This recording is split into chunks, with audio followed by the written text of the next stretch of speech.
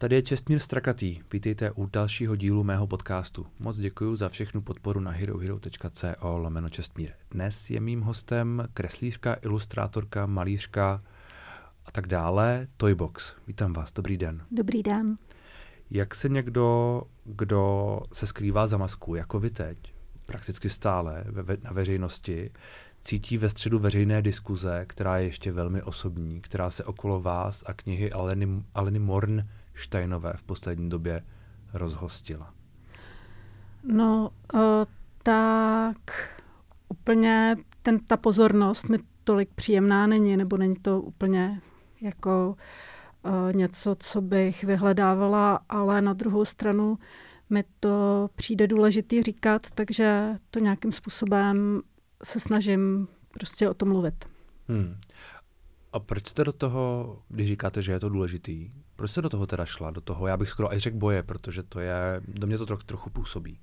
Uh, tak já vlastně jsem začala, nebo ta celá, celá tady ta věc vznikla tak, že mě nebo že ze seznamu zavolali Evě Klíčový, jestli by mohla napsat recenzi na nový román Aleny Morštajnové.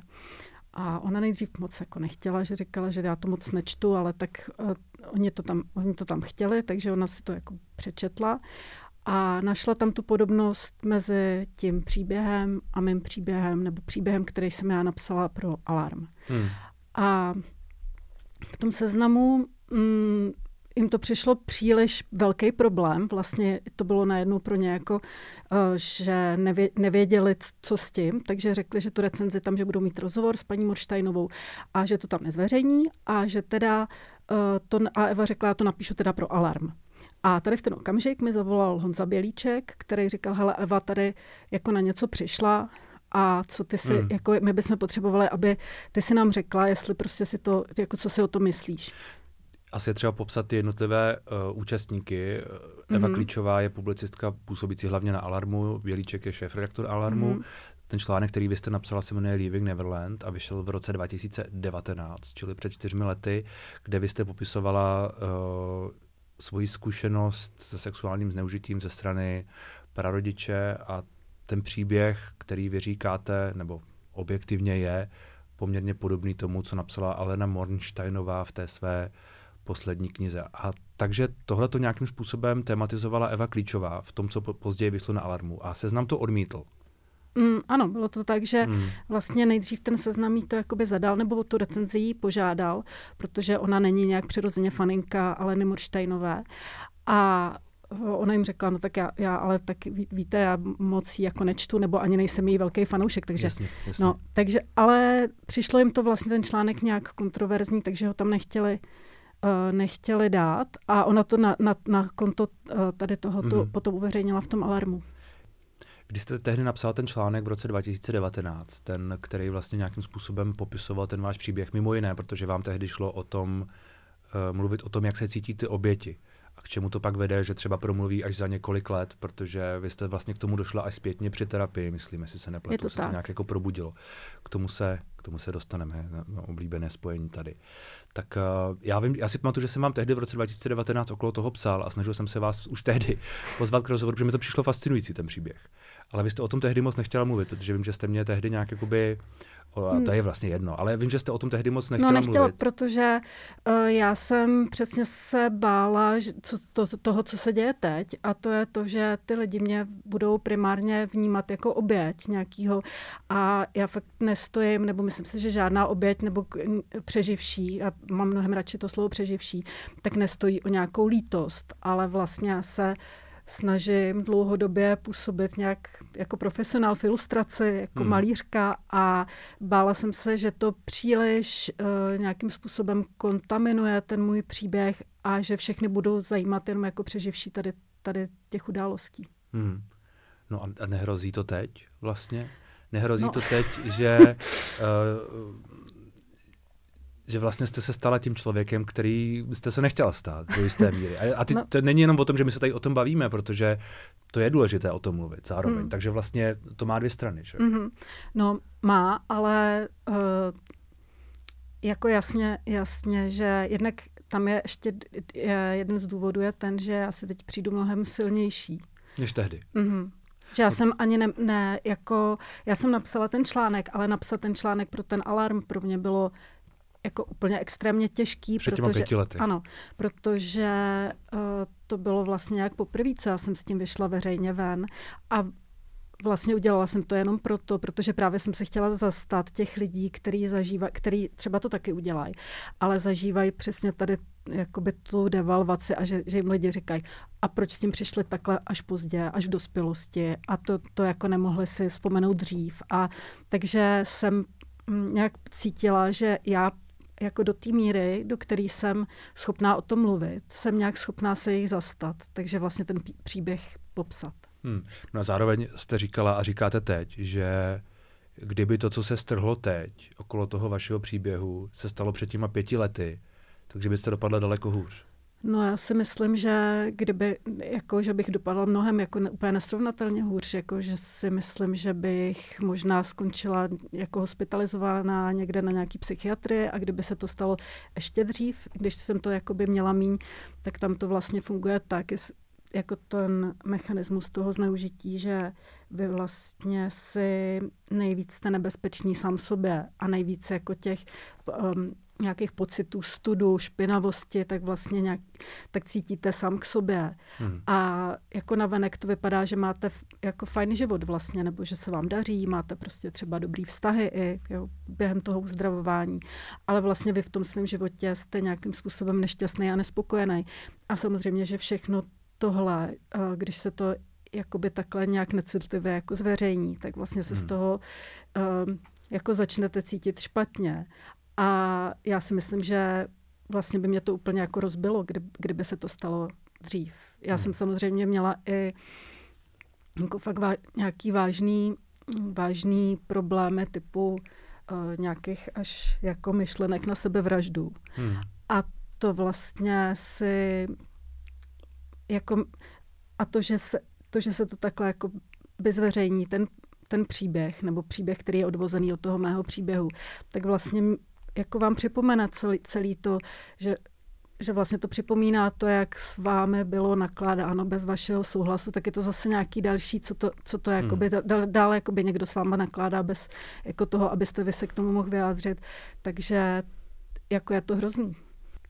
A když tohle teď říkáte, nelitujete toho, že jste s tím šla ven před těma pěti lety? Nebo vlastně, protože to je ten moment, že jo? To je ten moment, kdy Uh, a nebo, nebo vlastně možná jsou to dva momenty. Ten před těma pěti lety a ten teď, kdy vlastně uh, možná Eva Klíčová za to trochu může v úvozovkách, že vlastně se to znovu otevřelo, jakoby, že se to jako obživilo, o, o, obživilo. No, tak já si, já toho vůbec nelitu, protože uh, vždycky, když já o tom mluvím, tak je to tak, že mi napíše spousta lidí, fakt spousta, hrozna, hroz, jakoby desítky lidí, který mi píšou uh, díky, že o tom mluvíš, protože já jsem si na základě tvýho příběhu a toho, že o tom mluvíš, uvědomil nebo uvědomila, že já mám vlastně tady ty taky zážitky, nebo mně se to stalo, nikdy jsem o tom nemluvila.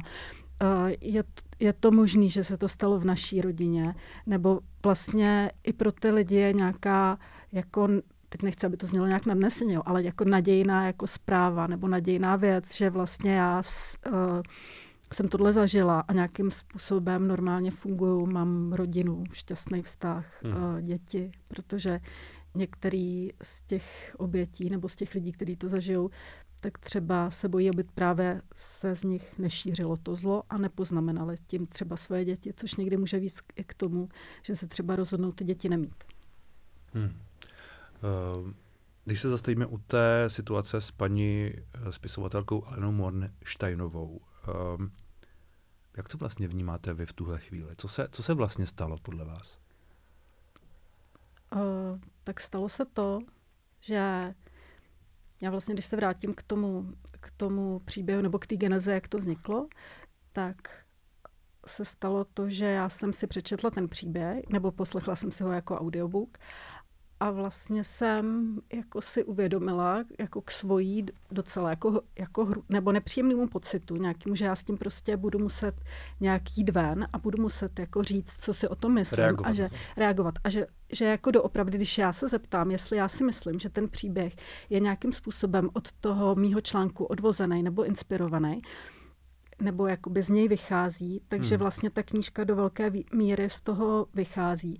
A že pokud se budu tvářit jako že to tak není, takže vlastně lžu, nebo že vlastně to jako netvrdím pravdu a že bohužel teda budu muset to říct, že si teda myslím, že opravdu z toho vycházela a že uh, jako to bude hrozný poprask. To mi bylo jako jasný od začátku, ale že se prostě nedá nic dělat, protože já si myslím, že eh, když, jako že nemůžete předtím schovávat hlavu do, do písku a tvářit se prostě, že jako tady Eva Klíčová si něco myslí a já si o tom vlastně nic nemyslím a to je její věc, když já si to vlastně myslím taky.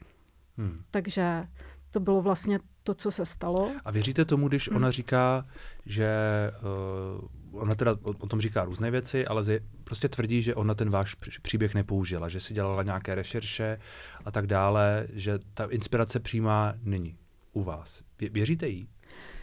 No já uh, moc tomu nevěřím, protože mě mm, jednak těch podobností mi tam přijde opravdu hodně a jsou hodně specifický na, hmm. na, na to, aby to podle mýho názoru byla náhoda. A další věc je, že během toho, uh, že vlastně ta komunikace ze strany jak jí, tak hostů mě vlastně spíš přesvědčila o tom, té nakladatelství, kde ta kniha vyšla, tak vlastně mě jak spíš jako vedla k myšlence, že tam nějaký problém bude.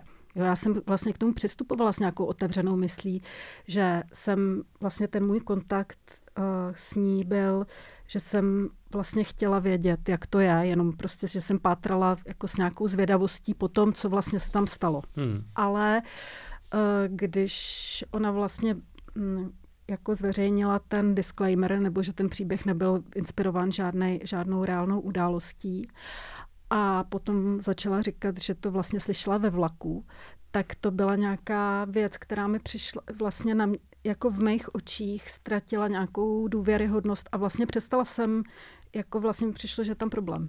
Hmm. Zároveň vy uh, jste říkala, že je důležité o tom mluvit, i proto jste s tím šla, šla ven, o tom jsme už tady se spolu bavili.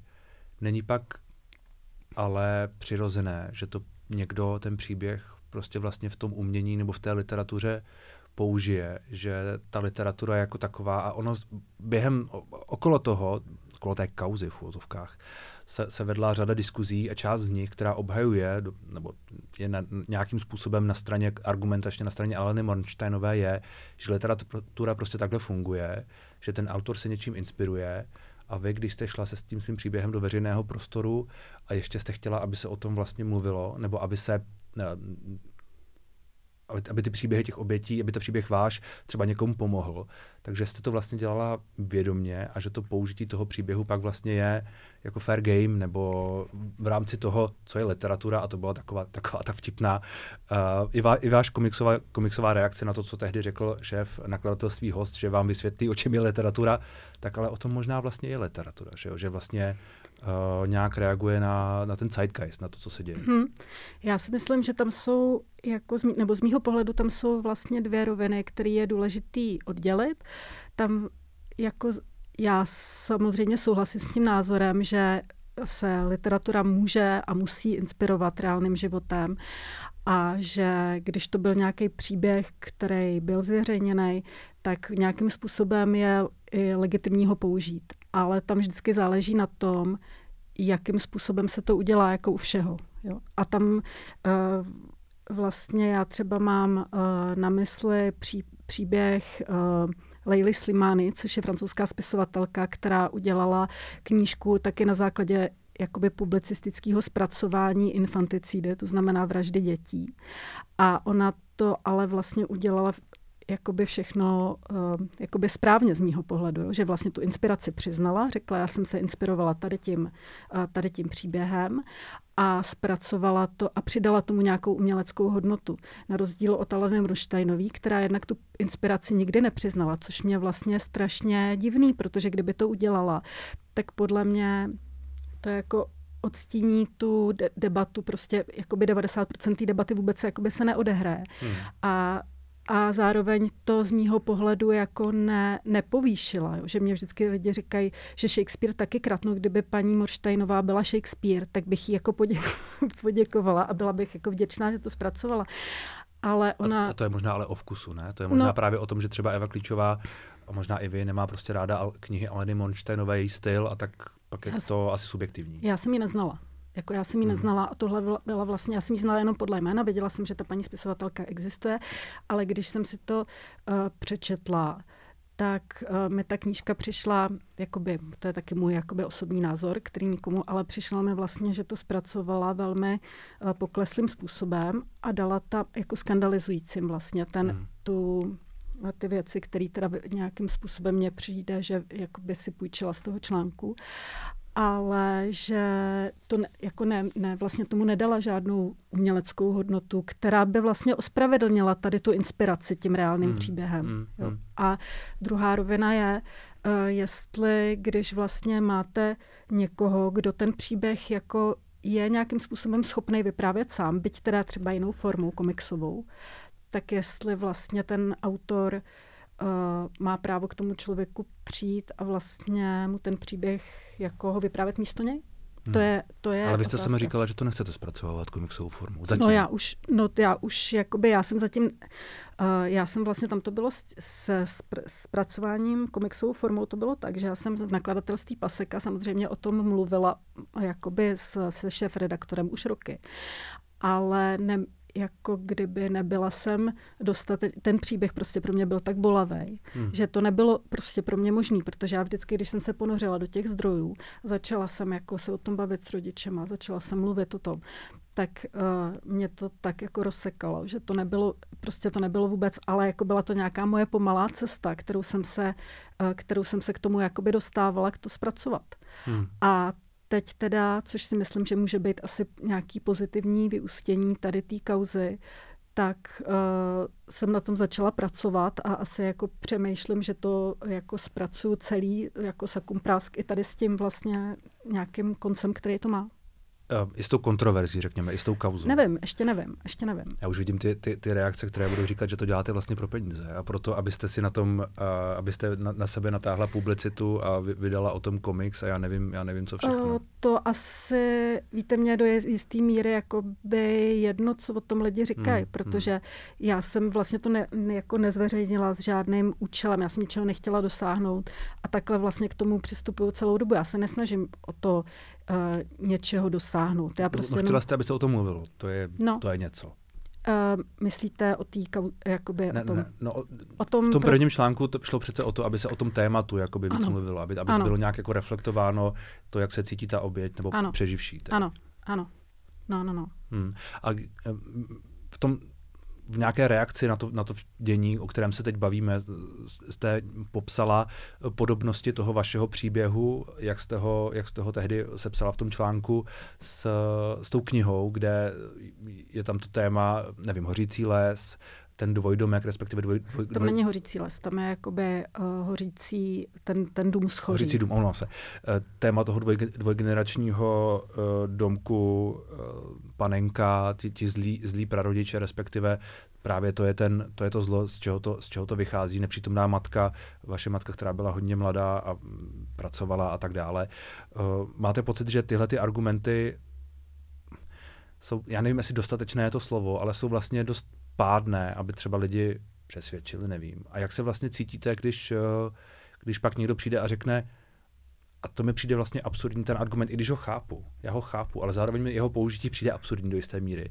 Když někdo přijde a řekne, no ale těch věcí se děje strašně moc a zneužitých je vlastně strašně moc, tak to, že tady jsou tyhle podobnosti, je vlastně podružné, protože ty věci se prostě dějí, a tak to je a tak to bereme.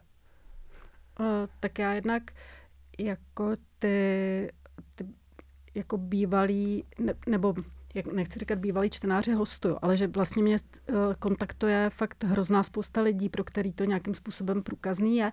Já to ani jako nemusím jako moc tvrdit, protože ty lidi to vidí. Já ani nikoho nepřesvědčuju. Já jako ani nikomu neříkám, jako já si myslím, že je to deri- jako derivát toho článku, nebo že je to odvozenina, protože uh, mě spíše spousta lidí, kteří vlastně k tomu názoru dospěli nějak úplně nezávisle na tom, jak, na tom mém vystupování. Hmm.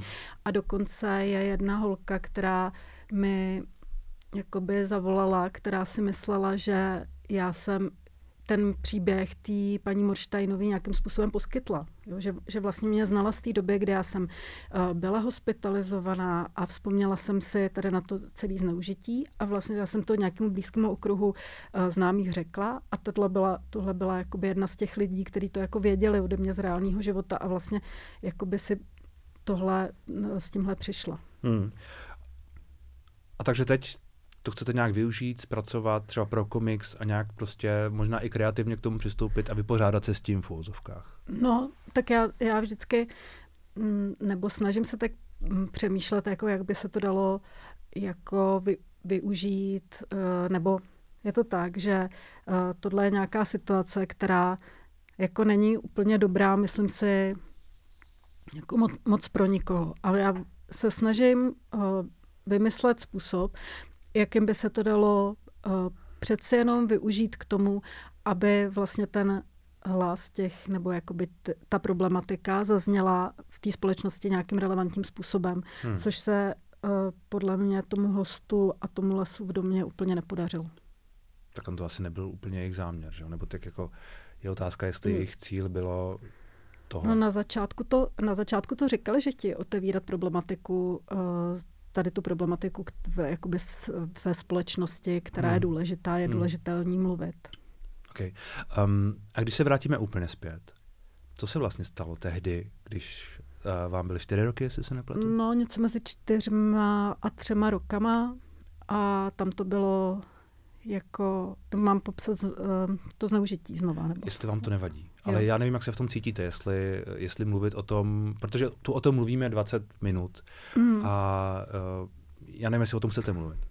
Nebo no, můžete je, to, je, to, je to vždycky takový, že já, já pokaždý, když to jako řeknu znova, tak to má nějak jako má to samozřejmě, pro, nebo je to pro mě náročný, není to pořád ne, jakoby uh, jednoduchý, ale vlastně došlo k tomu, že... Tak, tak řekněte, co můžete, chcete. Okay, že vlastně mě maminka, která mě doopravdy měla jako hodně, hodně mladá, tak vlastně uh, chodila na medicínu a nechala mě takovýmu zlýmu páru prarodičů, kde ten uh, děda byl strašně jako zlej a vlastně tam je ještě taková důležitá věc, která nějak podle mě jako svědčí o tom, jako o roli patriarchátu, který v tom je, nebo nějaký, nějaký skoro jako feudálního uspořádání, že já když jsem to třeba řešila s jednou psycholožkou, proč si myslí, že jako děda, na co ho může přitahovat sexuálně na jako malý tříletý nebo čtyřletý holčičce, tak ona mi vlastně vysvětlila, že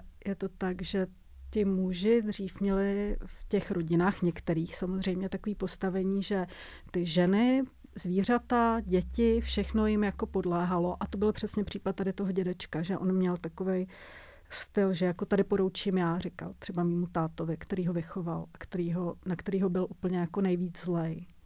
A i když ho teda nějak jako mu neublížil sexuálně. A on pravděpodobně prostě mě v lese, kde se to, kam já jsem s ním chodila na procházky, uh, tak mě tam uh, nějakým způsobem jako se, sexuální, jako měl jsem nějakou jako sexuální aktivitu, já úplně nechci zabíhat do hmm. nějakých velkých detailů.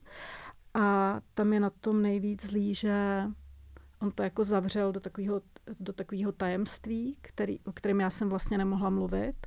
A ještě, že ten dědeček byl takovej, že já mu říkám dědeček, protože já jsem tak zvykla, jo, já bych mu měla říkat děda, na což mě upozorňovali ty diskutující. A tam vlastně ten mechanismus je takový, že to dítě ono se, když mu spáchá, nebo když mu ublíží hodně nějaký dospělý, tak ono se necítí jako, že ten dospělý je zlý a ublížil mi, ale ono to vlastně tu špínu a ten hnus a ten stud tak vezme na sebe a inter, jako si ho znitřní, takže začne se cítit ono špinavý, špatně prostě. Takže tohle tam proběhlo, takže ten dědeček prostě po, pořád pro mě byl jako dědeček. A, uh, Ale vy jste ztratila to, tak, svoji hodnotu. A já jsem ztratila jako část, vlastně třeba svoje celé tělo jsem ztratila, který jsem tam jako nechala, který úplně vlastně musíte odstřihnout od sebe, takže vlastně ho přestanete cítit. Nebo já jsem i jako malá neměla vůbec čich, nebo do, do té doby, než vlastně jsem si na to vzpomněla, tak jsem neměla čich, protože to vlastně odstřihnete jako ten, ten čichový věm vlastně, že, že necítíte. No. Hmm. A takže, takže tohle se jako stalo a to je něco, co je jako bolestný a nějakým způsobem to utváří váš život.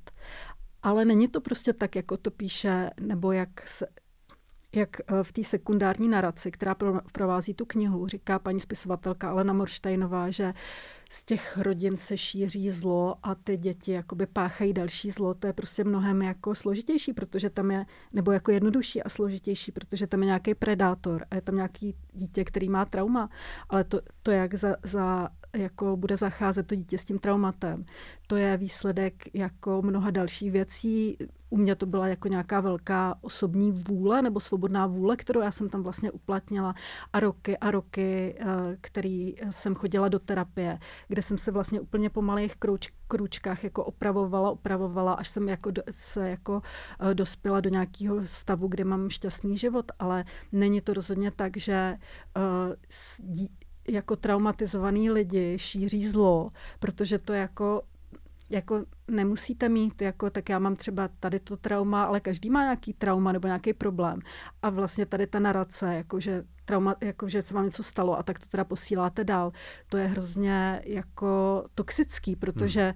vlastně to znamená, že že je to takový nevyhnutelný a co teda s těma lidma a rodinama máme dělat, tak je prostě eh, odstěhujeme někam jakoby za město a tam je budeme nechat, ať si to žlo, zlo šířej mezi sebou, aby nás tady jako ne, netraumatizovali dál. Hmm. Uh, vy jste pak nějakým způsobem to otevřela v terapii, která uh, přišla někdy před až poměrně po dlouhé době, nějakých hmm. 20 let. Čili těch, nebo já nevím, jak dlouho to bylo, tak nějak. No, no, no. Čili těch 20 let prostě jste byla v tom, že uh, v nějakém pozměněném vztahu k sobě, vy jste zmínila to, že jste neměla čich, uh, já vím, že jste nějakým způsobem se to propisovalo do vaší tvorby, že, jo? že jste hmm. kreslila postavy, které byly, uh, třeba neměly ten nos, nebo no, no měly no. nějak, byly nějak jako zašitý, zašitý pusy, zašitý protože pusy. o tom nemohli mluvit. Uh, jak si, když se na to podíváte zpětně, na to období předtím, než jste to otevřela, tak...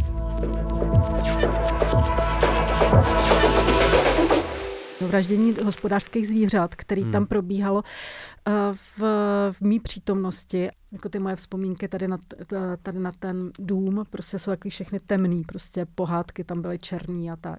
Byť ty obrazy jsou hodně pořád takoby emotivní a takový jako introspektivní, tak mám pocit, že jsou veselější jsou veselější. No. Že, vlastně, že vlastně to, co říkáte, že se tam no. jako asi propisuje to, že se prostě máte dobře, když to jako no, hodně, hodně zjednoduším. Psychicky, psychicky rozhodně, no. Takže přišly velký hejty na to. Ano, ano. My se vlastně tváříme, že ty boje už jsou jako vybojovaný. Hmm. Jo, že vlastně tady máme rovnost žen a mužů a to není tak, že zvířata byly uh, stvořeny proto, aby sloužily člověku stejně tak, jako žena není stvořena, aby sloužila muži.